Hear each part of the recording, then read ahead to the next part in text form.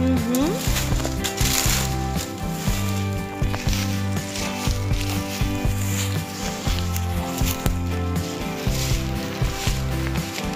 Estamos chegando aqui nessa casa abandonada, à beira da rodovia da BR-101.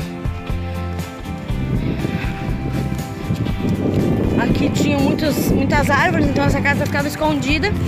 Só que agora que foi feita essa limpeza aqui para vender a madeira, acabou que a casa apareceu aqui no meio, né, gente? E eu vou mostrar ela pra vocês. Espero que não tenha fantasmas aqui.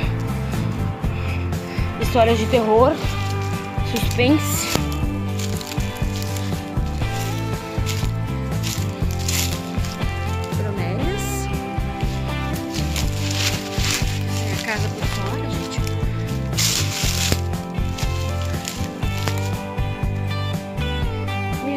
Dentro. Com os grandes janelas. Provavelmente 3 por 3 os quartos. 3 por 4. 3, 3 por 4. Quarto de 3 por 4.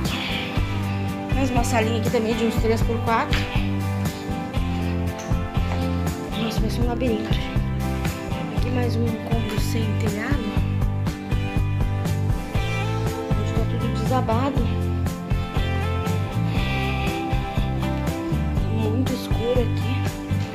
Aqui um banheirinho, mas não dá pra ver direito.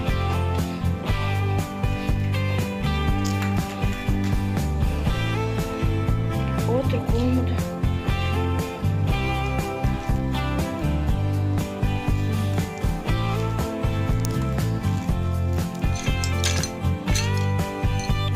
E sobrou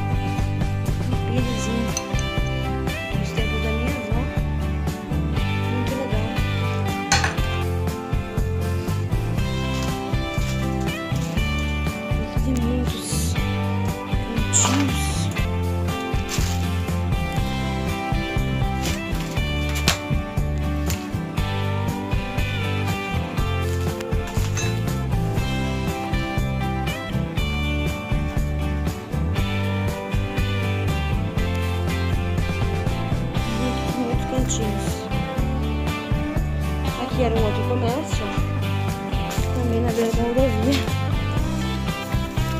Também, também foi abandonado mais um restaurante na beira da rodovia.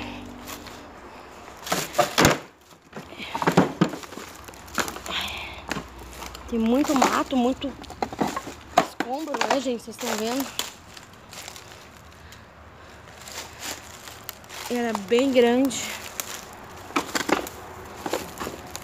As telhas e o telhado caíram pra dentro do, do complexo, ó. Tá muito instável o chão aqui. Mas eu vou mostrar tudo pra vocês.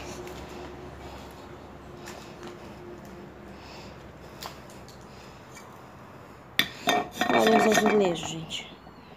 Que bonitinho. Ah, cada um tem um desenho, olha que legal. Muito bonitinho.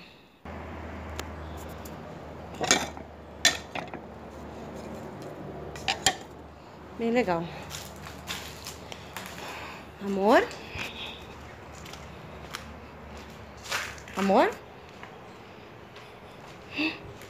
Fiquei sozinha. Socorro. Saí daqui.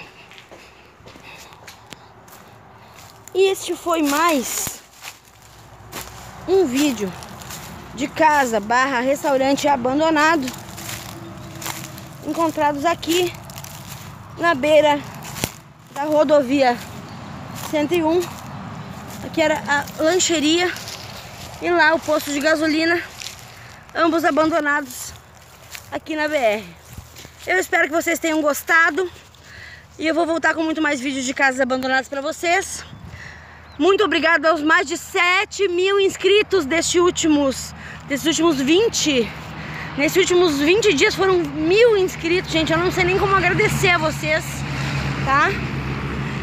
Eu adoro contar as histórias, eu adoro mostrar os vídeos, eu adoro contar pra vocês o que aconteceu. E a história desse posto aqui é que ele tinha uma licença para funcionar durante tanto tempo. Quando essa licença venceu, tanto o dono do restaurante quanto o dono do posto entregaram as acomodações. O proprietário uh, do imóvel, por sua vez, não realocou para outra pessoa. Então, por isso, ele ficou abandonado por tantos anos. Tá bom, pessoal? Essa é a história desse posto aqui.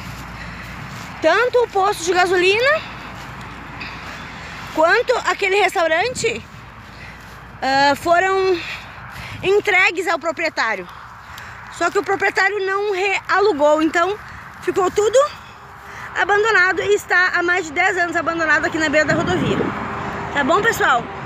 Uma ótima tarde a todos, um abraço, obrigada por quem assistiu e até o próximo vídeo.